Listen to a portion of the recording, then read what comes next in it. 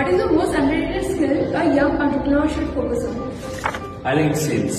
Like usually, if it's a technical founder, uh, they are by default good at coding and building things from scratch.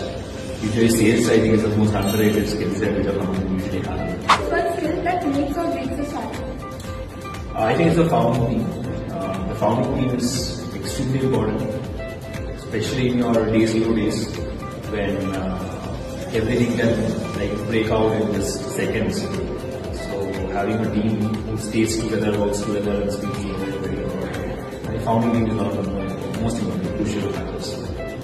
What should first time founders know before pitching to VCs? I think your ask should be very clear uh, how you are going to spend that money and know a little bit more about the VC because founders at the end of the day are like VCs at the end of the day are humans only and if you know something more about them which anybody else doesn't that really creates impact.